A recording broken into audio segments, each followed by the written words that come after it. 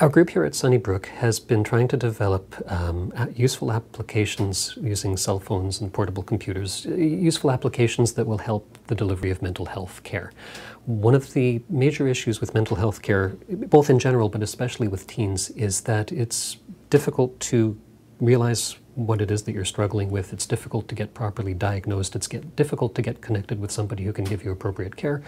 And sometimes actually getting through the process of being cared for can sometimes be difficult too.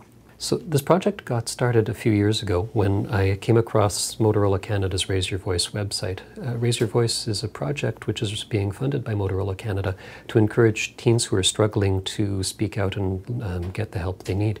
The partnership between Sunnybrook Psychiatry and Raise Your Voice is a great one because Raise Your Voice is about encouraging teens to speak out. We're interested in being able to use cell phone technology to help teens to get the help that they need the trick and what this project is all about is around trying to develop the tools and so that getting the help and uh, using the cell phones for mental health ends up being as easy and as painless as possible. A mood diary is a generally a paper and pencil chart of how people are, feeling over time. The reason for doing uh, uh, keeping a mood diary and actually writing it down is that people just don't remember how they feel very well.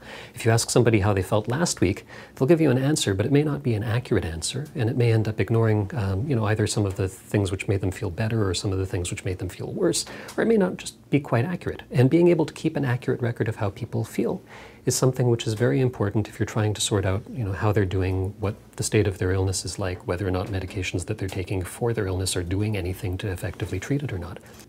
If we put a mood diary on a cell phone, it makes it the process of keeping a mood diary a whole lot easier. It means that um, since the cell phone is always with them, the mood diary is always with them. You can set the phone up so that it reminds them that they should be recording um, something in the cell phone each day. It makes it easier for the data to get back and forth. They don't need to take the paper and bring it into their, their doctor's office. It can just get um, sent in by the internet directly. The study itself involves making daily entries on the cell phone in the electronic mood record, um, plus other entries if something significant happens which may have an impact on their mood.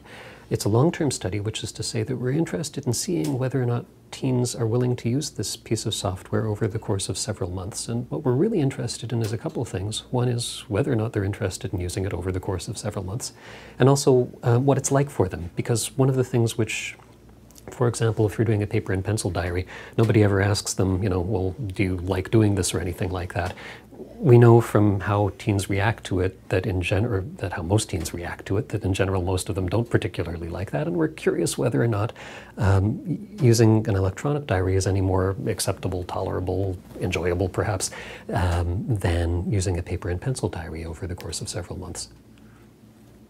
This project is Motorola Canada's first ever um, funding for mental health research, so it's, it's pretty significant that way, and it's great that they were willing to um, help us out with this project.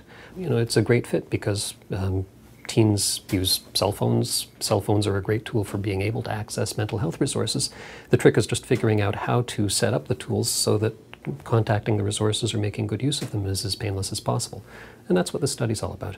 We know that lots of teens out there are struggling with mental illness. We know that a lot of teens are struggling with mood disorders. If you have 100 people in your class, by the time you're in your early 20s, 10 of them will have been having problems with depression, another one will be in the early stages of having problems with bipolar disorder. The most important message I would have is that if you feel like you're struggling with something, if things don't seem like they're quite right, go to your doctor and talk to them because they may be able to connect you with the help and save you years of having to struggle with it until later in life.